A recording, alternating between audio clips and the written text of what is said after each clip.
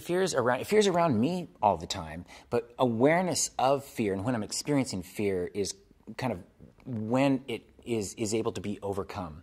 And so i still experience fear but if i'm able to name it and then adjust to it then i'm, I'm able to use fear in a very healthy way to uh, adapt and shift and move. I don't ignore fear.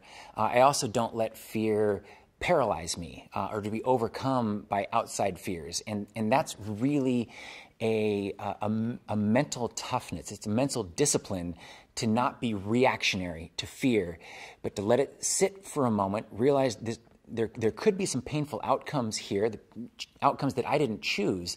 However, be able to be emotionally intelligent, to understand fear, to be self aware, and then kind of adapt and adjust into this new reality.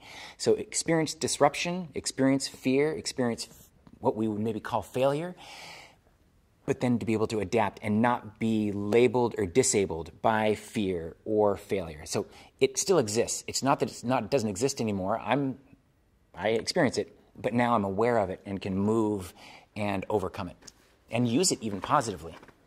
It's the it's the tolerance for bad ideas, tolerance for failure, tolerance for potential outside critique coming in. And so that's, that's it's kind of building up uh, a vaccination against other people's critiques. You're able to create, create, create without fear of being judged, either judging it yourself. You know, we draw a bunny uh, that doesn't look like a real bunny is supposed to look. I'm not an artist.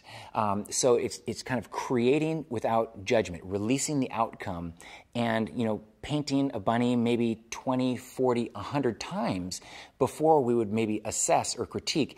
You know what? I, I want to make the paws more photorealistic. I want to try and round the ears back or make them longer. So we, do, we don't know those things. It's not natural to us. We haven't studied bunnies and how to draw bunnies, but that's part of the process in anything, whether we're uh, using social media whether we are leading a team of people, whether we are trying to build good branding or marketing, we need to try some things, not just revert back to what was in the textbook from last year's success, because last year's successes are irrelevant for future outcomes. And so we have to ad- adjust or adapt to new realities, which is where tolerance of fear, potential failure, risk, all come into play where we, we need to find new ways without labeling ourselves uh, on old paradigms.